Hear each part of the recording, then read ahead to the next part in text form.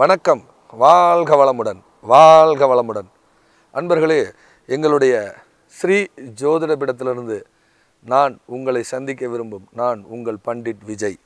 நிறையா ஜோதிடம் சார்ந்த சித்தாந்தங்களை பதிவிட்டு கொண்டு வருகிறோம்.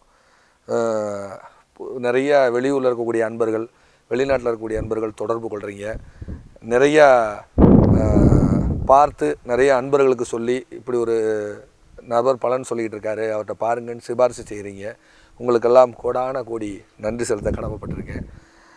நிறையா ஜோதிடத்தை பற்றி புது புதுயான விஷயங்களை பதிவிடுறோம். நிறைய பேருக்கு ஒரு பயம் உண்டு. இந்த ஏழரை சனி அப்படிங்கிற ஒரு பயம் எல்லாருக்குள்ளேயும் இருக்குது இந்த ஏழரை சனிங்கிறது ஒரு மனிதனை பக்குவப்படுத்துகிறது. ஒரு மனிதனை பக்குவப்படுத்துது. ஸோ சனி வந்து காலபுருஷனுக்கு பத்துக்கும் பதினொன்று கூடையவர்.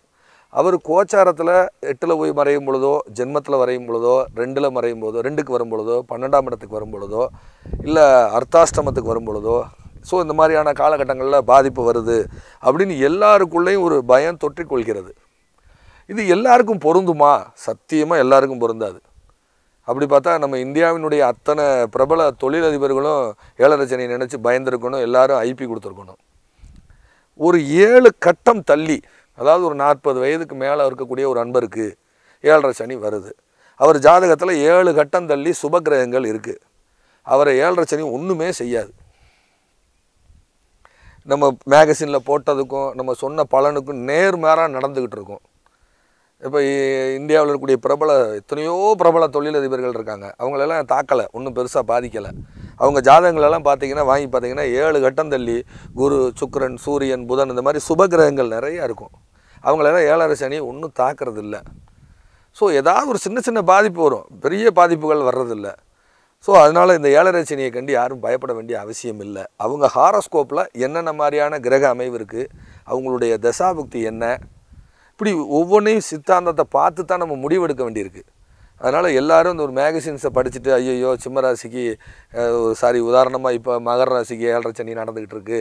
விரயத்தில் நிற்கிறாரு நீ ஜென்மத்துக்கு வந்தால் என்ன செய்வார்? இப்படியே ஒரு பயம் அதீதமான பயம் இருக்குது அதே மாதிரியே இந்த ஏழரை சனி நடக்கக்கூடியவங்களுக்கு ட்ரையாங்கிளில் நான் ஏற்கனவே சனி பயிற்சிக்கே போட்டிருப்பேன். இந்த இடத்துல குரு சுக்கரன் இந்த இடத்துல குரு சுக்கரன் சூரியன் இருந்தால் அவங்க சொத்து வாங்குவாங்க நிறைய பொருளாதாரத்தில் வளர்ச்சி அடைவாங்கன்னு. அதுவும் சத்தியமான உண்மை. ஆக ஏழு கட்டம் தள்ளி நல்ல கிரகங்கள் இருந்தால் அவங்கள ஏழரை சனி எந்த விதமான தாக்கமும் பண்ணுறது இல்லை ஏழுங்கிறது முன் வாழ்க்கை ஏழு கட்டம் தள்ளிங்கிறது பின் வாழ்க்கை. உதாரணமாக சில பேர்லாம் கேட்பாங்க அந்த மாதிரி எங்களுக்கு கடைசி காலம்லாம் நல்லா இருக்குமான்னு. இந்த ஏழு கட்டம் தள்ளி சுபகிரகங்கள் இருக்கக்கூடியவங்களுக்கு இறுதி காலம் நல்லா இருக்கும். பயப்பட வேண்டிய அவசியம் இல்லை. மீண்டும் நல்ல ஒரு ஆரோக்கியமான சந்திக்க விரும்பும் நான் உங்கள் பண்டிட் விஜய். வணக்கம். வாழ்க வளமுடன்.